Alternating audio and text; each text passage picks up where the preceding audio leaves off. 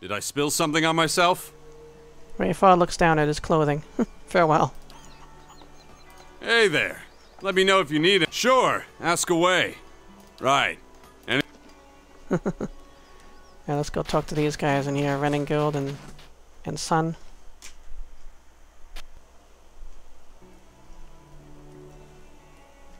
Well, you'll be pleased. I take it you've met Galvino. Renengild glances at the Devil of Caroc, her eyes narrowing. Oh, I want to go to Fiera first. Let's just examine her soul. Your awareness settles beneath Renengild's skin. You feel yourself looking through her eyes upon a time-faded memory. You're standing in the inn. The room is stifling, but it's the body heat of so many furious villagers, not the neglected fire pit, that's drawn sweat from your pores. Your husband waits by the door, about as far as he can get from the assembly. He holds Uldric, whose cheeks are bright as he watches the adults bicker with wide, fearful eyes. You'd never realized how badly your neighbors stank, but something rank and repulsive rises from them as they pack together in this room. How much did the old snake pay you, Sina Hiod? It's grinned, the head fisherman, jabbing a furious finger toward the back of the room. Sinihud? However you said it, your erstwhile mayor squirms in a corner, pinned by the accusing stares of the entire village. Oh, those eyes. Their cruel porcine eyes, and they're watching Sinihud with the dumb gluttony of hogs staring at fodder. The only sight that turns your stomach more is Sinihud himself, trying to wriggle free of his own lies. Maestro Galvino and I came to an agreement. It was for the good of Stalwart. I thought... You thought you'd let a killer walk among us? A woman in the middle of the crowd waves her fist. Cries of fierce agreement rise from the others. What began as a collective grumbling is swelling and congealing like storm clouds. You look back at your husband. He's whispering to Uldric, but when you catch his eye, he directs a silent supplication to you. Let's go. A wet smack draws your attention back to the other end of the room. Someone's thrown a potato, and Sinihud cringes and rubs his jaw. You want to shout at them for all this nonsense and waste, but you know that this is about to get worse. Stalwart will have blood, and Galvino in his horror had the sense to flee already. You turn again, and your husband is beckoning you with swift, chopping motions, but what stops your breath is Uldric. His little eyes are fixed on the churning mob, and you knew ever since you started hearing about those hideous purges that he'd see something like this one day. But did it have to be so soon? It's what drove that devil woman to madness, and now his little eyes have gotten big, big enough to swallow the whole scene, and now he's seeing you as part of it. You want to leave now, but if you do, this is what your boy will remember. Cowardice and madness. About people. About Stalwart. About you. The people around you jostle and bark in their rage. They're dangerous animals, but animals nonetheless. They just need to be led. So you push your way to the end of the room, where Sinihud trembles in a puddle of his own piss. Enough. Your voice boils up from your throat. The others fall silent, watching you. They listen, dumbly trusting, as you turn Sinihud's death sentence into an exile. No one contradicts you and explain that he is going to march out of this village alone and into whatever miserable hamlet will have him. They silently agree when you explain that their hands are too clean for the likes of him. But there's something else forming behind their eyes, a kernel of trust and dependence. You feel it curdling around you, encasing you like a pearl does sand. You only wanted to spare Sinihud's life, not volunteer for his job, but you see so much fear simmering just beneath their expressions. Fear at God-men marching through the mountains, at their woodens and their purges, at dying the slow and lonely death of a ghost town. And you see their ungrateful reassurance, sorry, you see their grateful reassurance mirrored in Uldric's expression. Perhaps this place is hopeless, but you realize that you can't leave it any more than you can leave your boy. The only person who isn't looking at you is your husband. He's shaking his head, his eyes on the door. You retreat from Renengild's memory. Vivid though it is, it has nothing to do with Durgan's battery. What's on your mind? Um, nothing. That is good, though. I like that. Oh, she has something more to say. Didn't think there was anything more than lice and hoarfrost to these folk, but you had a look back there. Yeah, I actually like. I knew that she had a reason. She just didn't turn psycho and start killing people. She actually had a reason, which I was looking for, and I am satisfied. What do you find when you're rooting around like that? nice more for us, mostly. Right. First, tell me the real reason you wanted to follow me to Stalwart. Mayhap I'm looking for someone. Woodcutter, by the name of Harmka.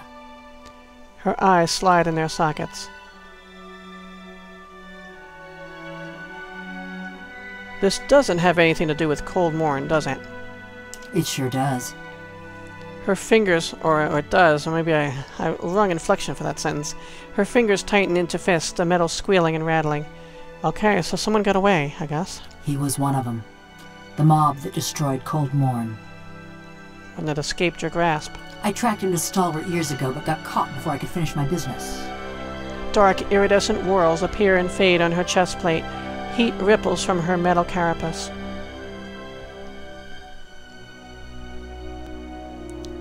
Sounds like there's more to it.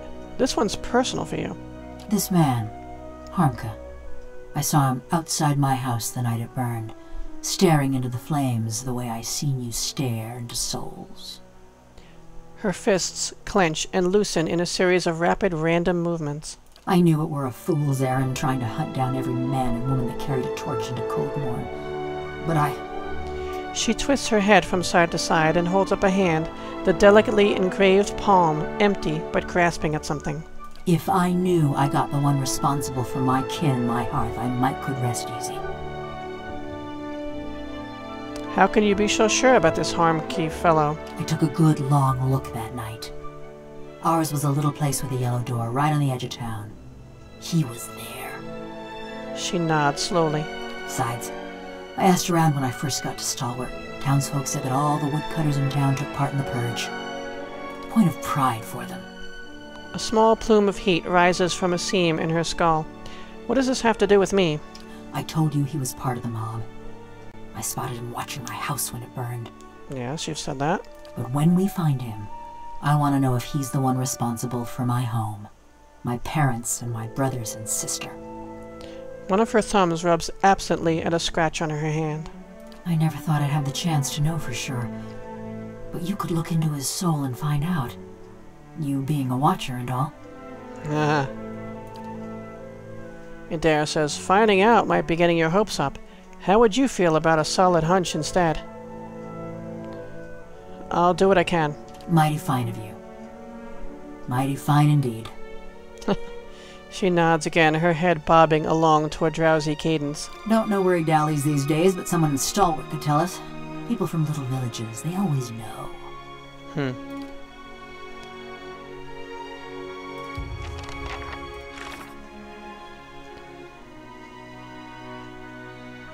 So the Devil of Caroc wants to find and kill a woodcutter named Harmki, or Harmka. I think it's Harmka. She believes that he was directly responsible for the death of her family, but she wants to know for sure. She thinks I, as a watcher, could find out. First, we need to find him. Someone around Stalwart could probably tell us where he is. I told the Devil I'd help her locate Harmka. Still, I haven't made any promises about what we'll do when we find him. True. You don't know about Harmka, do Any you? luck with Durgan's battery? Do you know where I could find Harmka? Probably out in the russet wood, chopping timber. She eyes the Devil of Caroc. Don't worry, we're not looking to murder him or anything. Wink. Why do you want to know? Uh, a friend asked me. Well, if you don't find him, just check back later. What's on your mind? Well, that was easy. Someone told me the Harmka is working in a clearing in the Russet Wood, west of town. Alright, I guess we'll go there before we go to Durgan's Battery. Something else you need? Read his soul. You reach for Aldrich's essence and find yourself staring at a fence post lying in a filthy slush of frozen mud. Snow gathers around your legs and trickles into your boots. A wind nips at you, even through layers of furs. You hold a wood chisel in one numb hand and a mallet in the other, Kneeling over the fence post, you get to work. Hour after hour, your hammer sways. Oh, you hammer away, feeling the tools grow heavy in your grip as your breath fogs your vision. You want to do better work than this. You can do better work than this. But no one's building new houses in Stalwart. The last table you crafted was put into the fishery, and pike entrails now trace the fine dovetail joints you so lovingly carved. Now you mend the stockade because that's what needed. That's what's needed. The, chisel slips, skidding alongside your hand. You gasp, but you hold up and see, much to your relief, all five fingers wiggling back at you. You need to get out of this town. You pull back from Uldric's soul. He's still staring into the fire, seemingly lost in his own memories, too. Okay.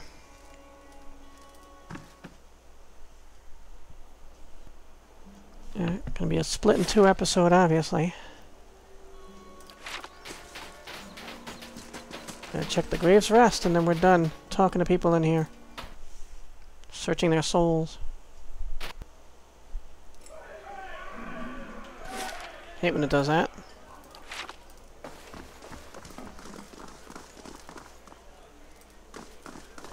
She's busy. We set fire to Old Man Hod's wagon.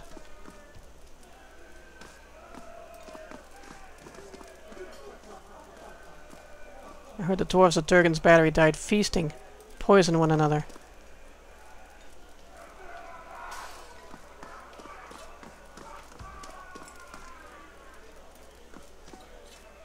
Buy us some wine, missus?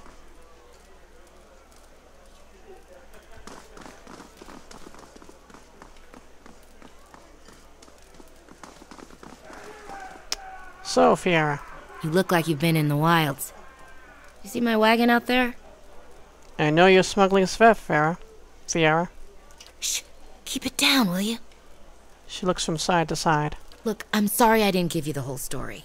But surely you can appreciate why I wouldn't announce my business like that. I'm just trying to get out of town before some ogre or fishman or starving snow-addled hunter sticks a blade in my gut.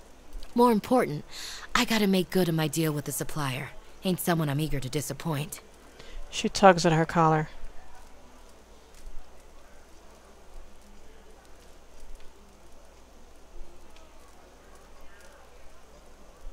Hmm. I won't help you peddle this poison. Give up your wicked trade, Fiara. You... Fine. Guess I'm stuck here. Because I don't dare face my supplier empty-handed. Hope you're happy.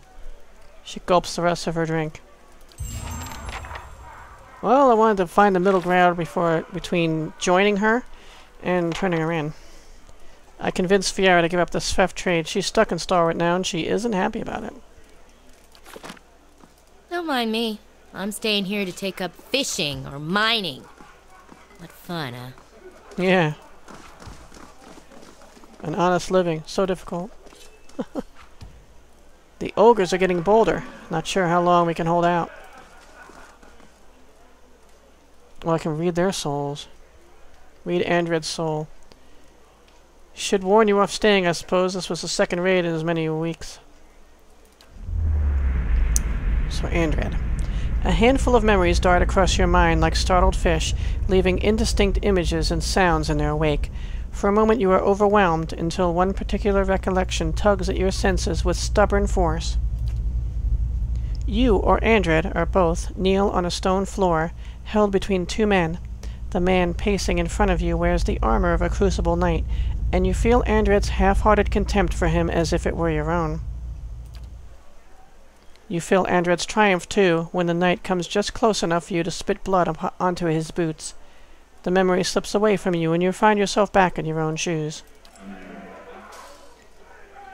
Read Berthwin's soul. The whiff of salt and brine is in your nostrils before the room has even faded. The ground heaves beneath your feet, and a spray of ocean water roars over the railing as the ship heels under the wind. The ship shudders violently, and you are thrown against the railing. In that moment you find your gaze pulled to the pitching surface of the dark sea, and see there an eye, broad as a shield, gazing back at you in turn. Fear and fascination sweep through your mind even as your senses recede and the memory fades. Huh. Okay. Katie? Hello, ma'am. Anything I can do for you? Guess I can't read her soul.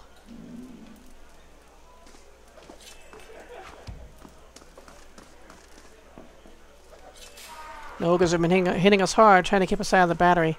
And they're winning. We're nearly out of soup stock. Have to start boiling more fish heads.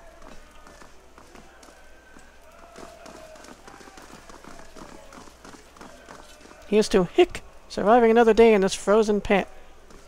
Okay, Halfrick. Back to warm your hands, eh? What can I do for you? You can let me read your soul. You see a room, dark and damp, a cellar. It looks like part of the inn rather than an old fortress.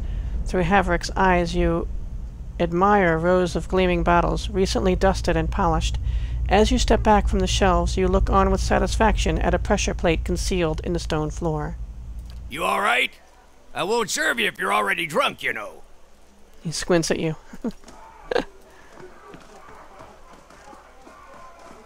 it's just him. Good thing Hafrick still has some venison in stock. Hardly any elk left.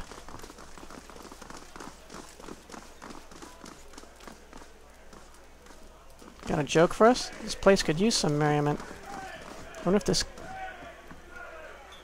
could work with those ogres. We need cool heads like yours.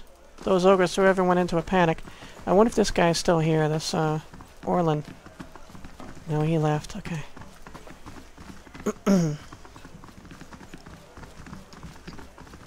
Something I can do for you?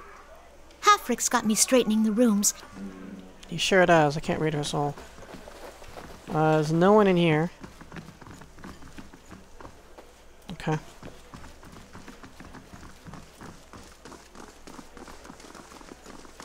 Head downstairs quick.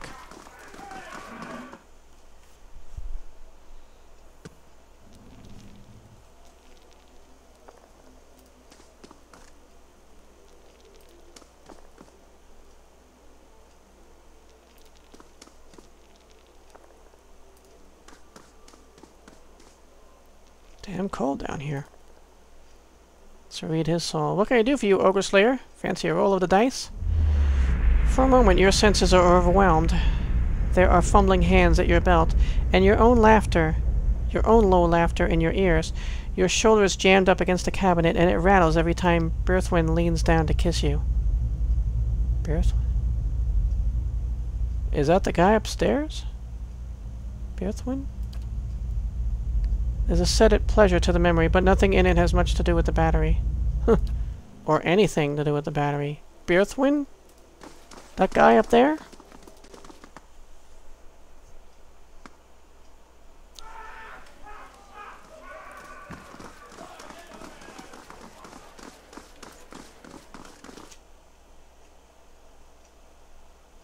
Interesting.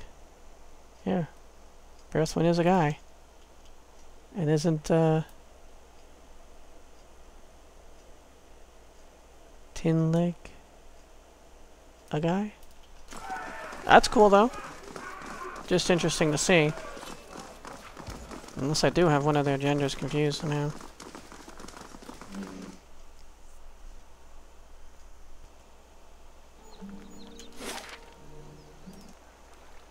The fishery.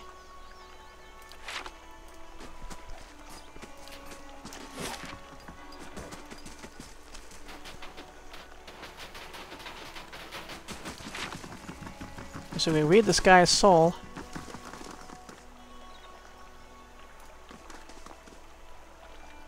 Work on the mines has stopped without Tina to oversee things. Alright.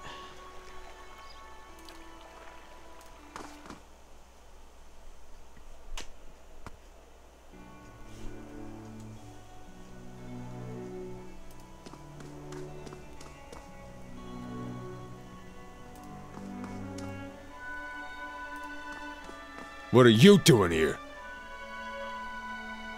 Got questions about the fishery. Been running it four decades now. Reckon I can tell you what you want to know. I hear your sister was once in charge here. Arda was a saint. Lived to look after the village, she did. Fell through a weak spot in the lake ice. His gaze grows distant, and he snatches at his salt and pepper beard. You'll pardon me, but it's not something I much care to dwell on. Need anything else? I'm not gonna tell. Uh, read a soul. As you reach for Grynde's essence, you find yourself wrapped in the cold embrace of a snowstorm. You trudge through the snow, each step laborious to your numb feet. You keep your head down against the wind, and your back is bent under a heavy burden. Ahead of you is the frozen lake and the hole you made in it. Your feet crunch over the ice. You wait and secretly hope for the telltale crack beneath you. With the village distant and dark behind you, you would sink and no one would know. At least that would free you of the heavy, churning feeling in your gut. Yet you reach the hole and the ice is still steady under you. You have the burden of your shoulders, cradling it, cradling her in your arms. She's wrapped in nets and weighted with stones. You wish one of the priests of Ondra was here with solemn words and the assurance of ceremony. Instead, you slip a bracelet off of her wrist. Ondra will have her body, and you will carry this reminder. You slide the bundle into the water and watch it sink. As it dwindles to nothing more than a dark stain beneath the ice, you feel a scratching in your throat and hear the wind moaning into your ear. I'm sorry. I'm sorry. I'm sorry. It takes you a moment to realize that you're hearing your own vo voice muttering. You surface from the vision. Whatever it is has, has nothing to do with Durgan's battery. Been running it four decades. Need anything else? I can't do this to him. If he's taking things, it's because of his sister's death. I'm pretty sure that's his sister, right? Um... Yeah, what the hell. I spoke to Galvino. He mentioned something about you. Bet he did. He despised Stalwart when he lived among us, and all the more when we gave him the boot. Never knew the old man to stay silent, that's for sure. He wrinkles his nose, scowling at some old memory. He told me you're a Ripple Sponge addict. He wanted me to search the fishery for your stash. Seems the old man's venom has dulled his senses. Grynde's expression is suddenly rigid. Still, I'm glad you're too reasonable to pay heed to that nonsense. I'd hate to see the fishery torn apart by some gullible adventurer on one of his full errands. I'll see to it that there's nothing here for them to disturb. He tugs at his beard, glancing around the shelves. Farewell. Task failed. I failed it on purpose. Fisherman's penance, huh?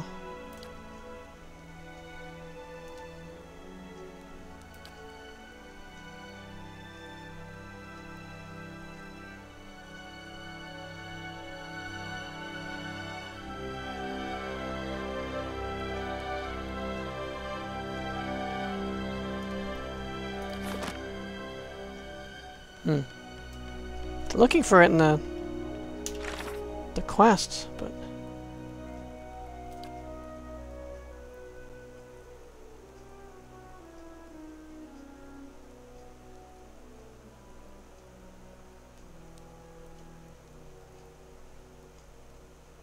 Yeah, I don't know. Thing is, I, you never know what's a task and what's a quest.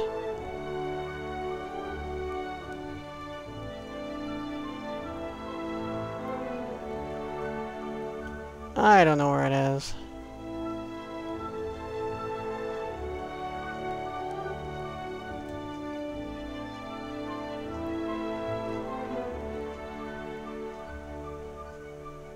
The fisherman something or other.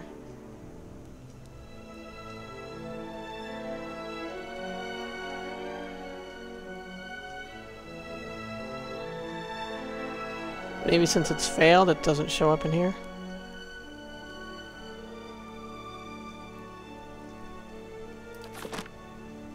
Hello, friend. Something I can help you with? Claps you on the back with rough affection. Nope, farewell.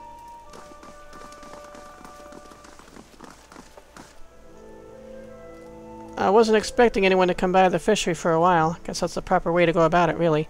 Carry on like it's business as usual. Can I get you anything? Nope.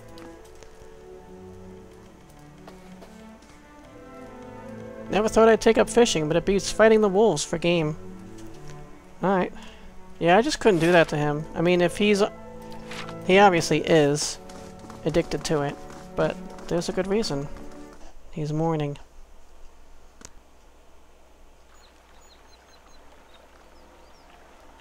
Okay.